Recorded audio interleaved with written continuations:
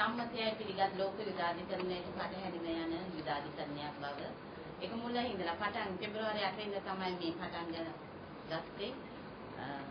මගේ ස්වාමියාව පැහැරගෙන අත්අඩංගුවට ගත්තේ. ඒදා සිට මේ වෙනකම්ම ගියේ ලෝක යුදාධිකරණයට පටහැනිව ගිය ගමන ඇත්තෙන්ම එක්තරා විදිහක නාටකයක් කිව්වොත් ඒක නිවැරදි.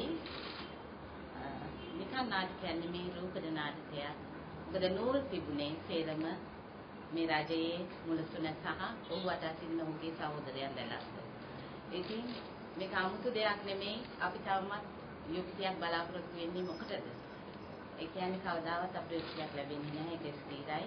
යම් කිසි වැරැද්දකට දනුවම් විඳපු උදවිය තමයි මේ රජය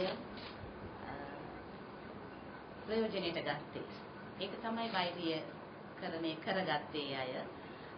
මේ යුදාධිකරණය තනිකර වෛරී වෛරයක් මත කරපු යුදාධිකරණයක් හැටියට මා දකින්නේ ඒකයි සියලුම අය වරදක් විඳ දඬුවම් විඳි විඳ අය කියලා මම දන්නවා. ඒ අයගෙන් ඒ යුක්තියක් බලාපොරොත්තු වෙන්න බැරි බව මම ඉදා සිටම දැනගෙන සිටියා. අපි බලාපොරොත්තු වෙන්නේ නැහැ. ඒ වුණත් මම හිතන්නේ මේ තීන්දුව තාම තීන්දුවක් දීලා නැහැ. අනුමතයක් දීලා නැහැ තීන්දුවක් දීලා තියෙනවා ජනාධිපති ඇවිදින් ඒක අනුමත කරයි. ඔහු බෝධිසත්වෙක් නෙවෙයි සමහර මිනිසුන්ට ඔහු රජෙක් බෝධිසත්වෙක් වුණත් ඒ ගුණාංග ඔහු තුළ තිබෙනවාද කියා මහ ජනතාව දන්නව ඇති. එහෙමනම් අපිට ඒ බලාපොරොත්තු විය හැකි ඒ ඔහු බෝධිසත්වෙක්වත් රජෙක්වත් හැටියට අපි පිළිගන්නේ නැහැ. ඒ හින්දා අපි එහෙම දෙයක් බලාපොරොත්තු වෙන්නේ නැහැ.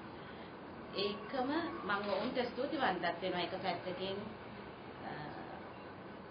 ඔහු යුද වීරයෙක් බව මුළු මහ ජනතාවම මුළු රටවැසියාම දන්නවා. ඒ කියන්නේ මගේ ස්වාමියා ජෙනරල් සරත් ෆොන්සේකාගේ යුද සැලසුම් මත කරපු යුද්ධය අවුරුදු 30ක් පුරා තිබූ ත්‍රස්තවාදයේ නිමා කරලා අපි යුද ජයග්‍රහණය සහ සාමය ලබා ගත්තා.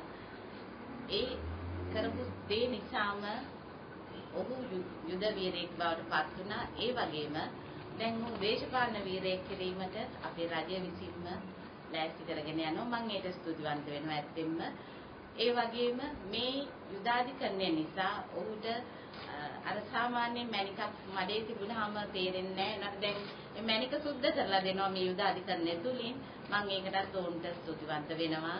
ඒ කියන්නේ මගේ ස්වාමියාගේ නිදොස්භාවය මුළු රටවැසියාටම දන්වා සිටිනවා. නිකන් සාමාන්‍ය පාසල් යන සිසුවෙකුට පවා තේරුම් ගන්න පුළුවන් මේ යුදාධිකරණය මොන වගේ යුදාධිකරණයක්ද කියලා මේ සියලු දේම රටවැසියා දැනගත් පසු ඉතින් මම ඒකට ස්තුතිවන්ත වෙනවා මේ රජයට. රජයේ මුල්පුටුවේ සිටින කෙනාටත් ඔහු වටා සිටින ඔහුගේ සහෝදරයන් පිරිසටත් මම මගේ මුළු ස්තුතිය පුද කර සිටිනවා.